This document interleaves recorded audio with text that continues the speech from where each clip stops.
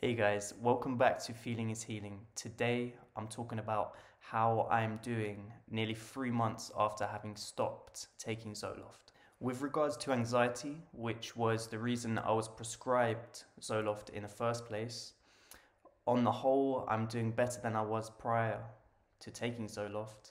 However, it's not been smooth sailing, it has been a rocky road at times at times it has been a challenge. I still go through periods of days or even a week where I'm experiencing anxiety at a more intense level. Days where I really question my decision to stop taking it, and days where I'm questioning whether I should begin taking it again. For now, the ratio of days where I'm less anxious compared to the days where I'm more anxious is probably about 60 40 in favor of the less anxious days.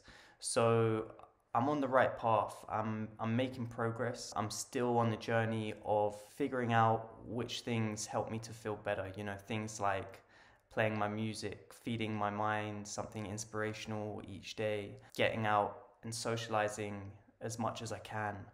Uh, all these little things to try and push myself, get small victories against anxiety. I will link in the description the video where I talk about things that have most helped me with my anxiety, I will post the link below.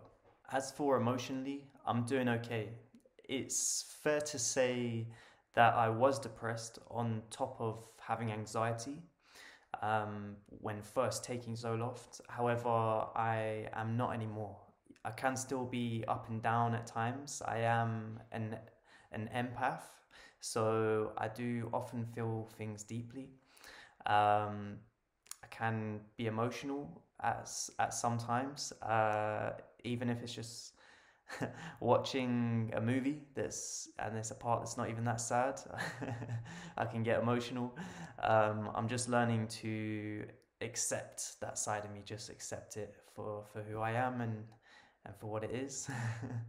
all in all, I am coping well. For the time being, I my focus is to stay off Zoloft. Overall, I'm coping well. Sure, there are times where I'm questioning my decision to stop taking it, and times where I consider going back to it. And I still might in the future. If I feel I need to, I will go back to it. And I'm very grateful to have that option. For the time being, I'm just going to keep doing all I can, working towards healing and to work towards recovery. I'm still on that journey. Uh, I'm not at the finish line yet. Just might might be the same as you guys. You know, just some days good, some days bad, but always trying to look forward to towards recovery.